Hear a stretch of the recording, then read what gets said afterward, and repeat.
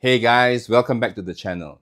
Today we'll discuss a topic that I get asked quite frequently, deed polls. Whether you're thinking of changing your name or just curious, here are the top 5 most frequently asked questions about deed polls in Singapore. And of course, I'll be answering them. FAQ number 1. What is a deed poll?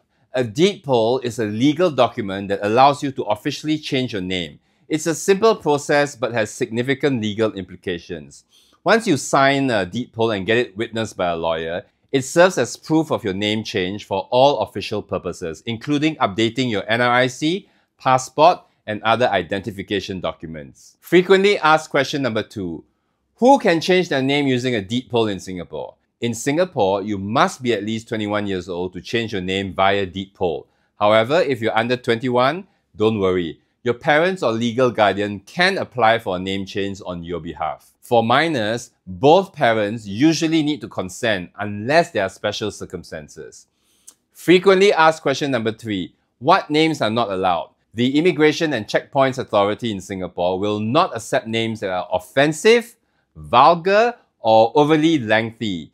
Additionally, names that are misleading, like trying to take on titles such as Doctor, Dato, or Sir, will be rejected. Keep it sensible. Frequently asked question number four How long does the name change process take?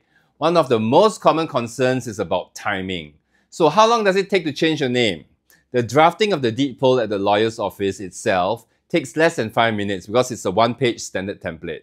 But once you sign the deed poll and have it witnessed, uh, the process uh, can be quite quick you will need to submit the deed poll to the Immigrations and Checkpoints Authority within 28 days to update your NRIC, and this usually takes 3 to 5 uh, working days. You will also be required to change your passport at the same time. Frequently asked question number 5. Do I need to notify anyone about my name change? Well, of course. After you update your NRIC, you need to inform uh, the various government bodies, banks, and institutions, such as your employer, uh, the banks, the insurance companies, your school, your university. Don't forget your utility companies, uh, SP Services, StarHub, M1, whatever, and even social media profiles.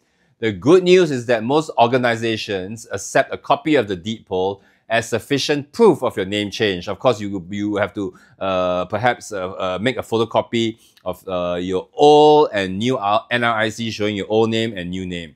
And that's it, the top 5 most frequently asked questions about deed polls in Singapore answered for you. Thank you for watching and I'll see you in the next video.